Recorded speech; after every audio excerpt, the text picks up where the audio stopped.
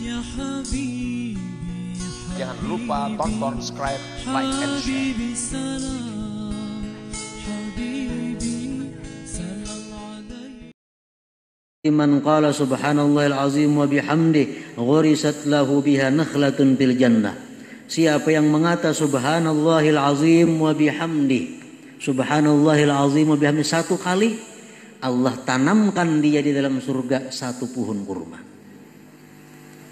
Seratus kali kita mengata sehari seratus pohon Allah tanamkan di dalam surga. Warisku rabbika khairun wa abqa. Rezeki Tuhan engkau jauh lebih baik dan lebih kekal. Nah para muhibbin rahimakumullah. Semakin banyak kita punya di dalam surga. Semakin banyak kita punya taman di dalam surga. Makin banyak kita punya kebun dalam surga. Makin banyak kita punya rumah dalam surga. Otomatis hati kita di dalam dunia ini kada takutan mati.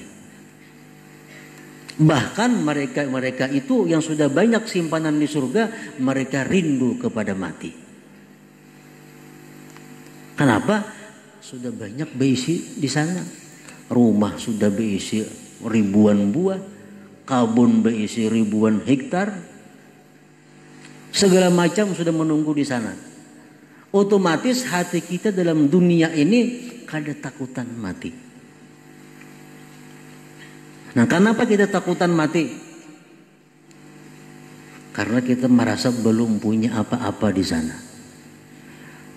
Kita belum tentu masih punya rumah di sana, belum tentu masih punya kebun di sana, barangkali di neraka mau nunggu kita, lalu kita takutan mati.